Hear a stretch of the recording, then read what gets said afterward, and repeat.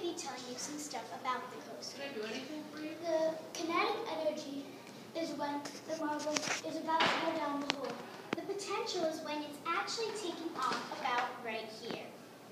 The gravity is when there are big drops, the gravity keeps it going down so it doesn't go all over the place. The friction is when the water stops the marble so it doesn't go flinging off. Show us how it works. See you there.